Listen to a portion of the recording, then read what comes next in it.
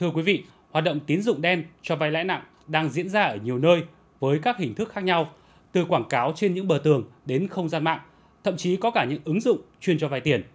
Đằng sau tình trạng này tiềm ẩn những hệ lụy cho xã hội và người vay. Từ cột điện, trạm biến áp, cây xanh đến từng công sở, nhà dân, cổng làng, từ thành thị đến nông thôn, đầu đầu cũng có những lời quảng cáo cho vay tiền với những chào mời hấp dẫn, dán treo dày đặc, lộn xộn, làm mất mỹ quan và gây bức xúc trong nhân dân. Tôi ờ, thấy rất là mất mỹ quan và họ dán nham nhở như này thì khi mà người dân người ta xem ấy, người ta sẽ gọi điện vào những cái đường dây nóng như này để vay tiền. Theo tôi được biết là cái lãi suất cũng rất là cao. Trên mạng xã hội Facebook, Zalo cũng có nhiều hội nhóm quảng cáo chào mời cho vay tiền.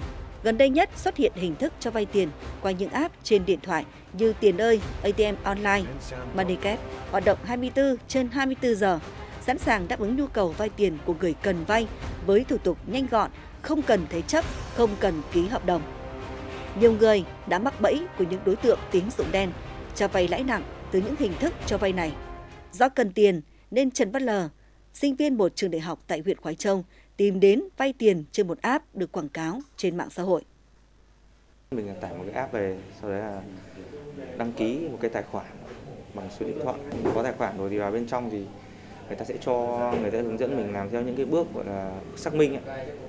Nhà xác minh là số điện thoại hoặc là địa chỉ gmail gì đấy à, rồi nhập thông tin cá nhân sau khi nhập xong thì mình sẽ gửi cái đấy về đợi người ta duyệt ta xác minh sau đấy thì mình sẽ chọn cái mức tiền mình cần vay theo L mức lãi suất vay trên app là 6.000 đồng 1 triệu một ngày nếu cộng cả tiền lãi với các loại phí do các đối tượng cho vay tính thì lãi suất có thể lên đến 200% năm. Khi người vay chậm trả tiền thì các đối tượng gọi điện, nhắn tin, đe dọa, khủng bố tinh thần.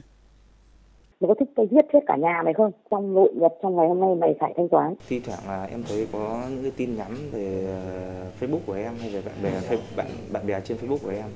Còn là thậm chí người ta người ta comment người ta comment là những cái bài viết với cái bình luận về thông tin cá nhân của em mà tìm em. Nhưng mà người ta đăng có những cái thông tin nó lệch đi ạ. Vừa qua, Công an tỉnh Hưng Yên đã mở đợt cao điểm về phòng ngừa và đấu tranh với tội phạm tín dụng đen.